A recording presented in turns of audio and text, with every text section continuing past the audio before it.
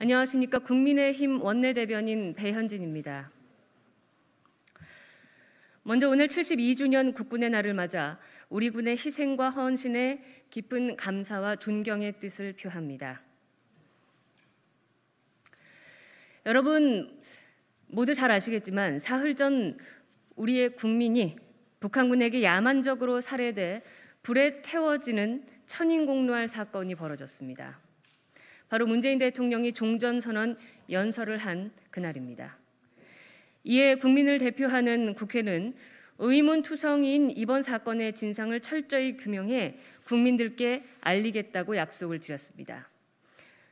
대통령과 군이 과연 우리 국민을 지키는데 최선을 다했는지 이미 엇갈리고 있는 여러 부처 간의 해명이 그 진실은 무엇인지 우리는 반드시 확인을 해야 합니다. 국민의힘은 이번 사건을 대한민국 국가 안위에 관한 매우 중대한 위기로 인식합니다.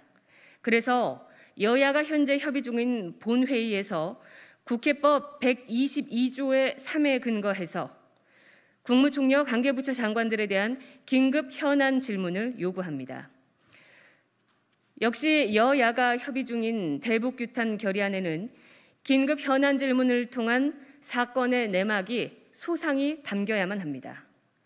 민주당 지도부 또한 우리 국민이 북한에 잔혹하게 살해된 이번 사건의 강한 유감을 거듭해 표한 만큼 대북 규탄 결의안이 요식행위에 그치지 않도록 긴급 현안 질문에 협조해 주실 것을 대한민국 국민의 이름으로 요구합니다.